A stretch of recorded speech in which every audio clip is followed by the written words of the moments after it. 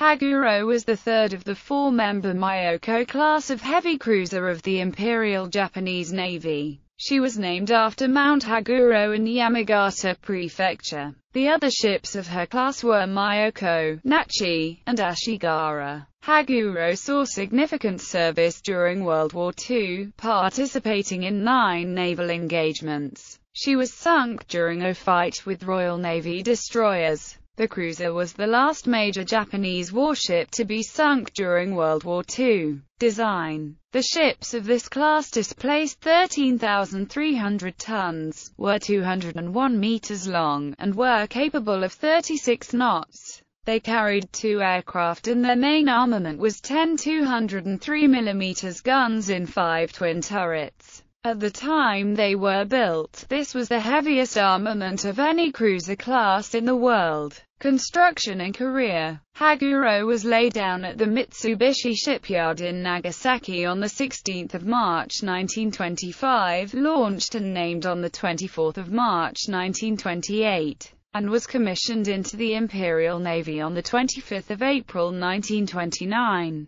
Her service in World War II started in the Dutch East Indies, where she engaged the enemy off Makassar on 8 February 1942. Haguro played a key role in the Battle of the Java Sea on 27 February 1942, and was involved in the sinking of the cruisers HMS Exeter and the Dutch flagship HNLMS De Ruyter the destroyer HNLMS Kortenaer and of the destroyer HMS Encounter in another action off South Borneo on 1 March 1942. On 7 May 1942, she participated in the Battle of the Coral Sea, moving on to the Solomon Islands where she took part in the Battle of the Eastern Solomons on 24 August 1942. The evacuation from Guadalcanal at the end of January 1943. Haguro took light damage in the Battle of Empress Augusta Bay on 2 November 1943. On 19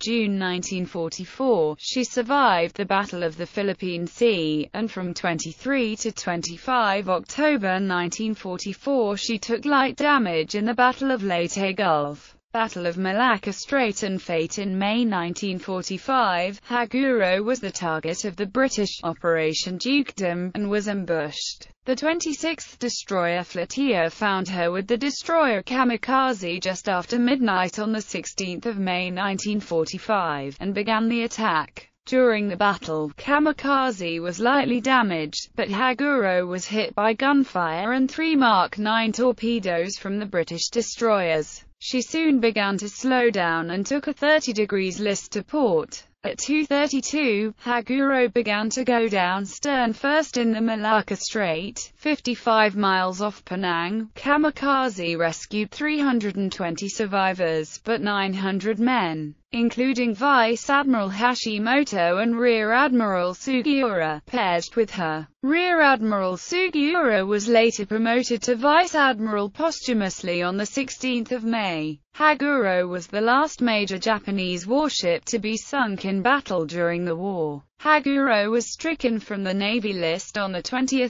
June 1945. The wreck was discovered in 2003, showing significant superstructure damage from her last and earlier battles.